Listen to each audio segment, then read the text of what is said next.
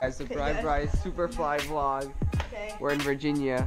We're gonna go on a cruise to the Bahamas, so we're leaving in six hours. It's right now Christmas Day. Yeah. As you can see, we kind of open up all of our presents.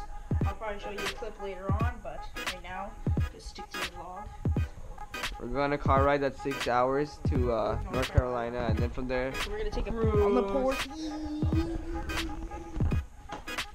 so we'll see you there.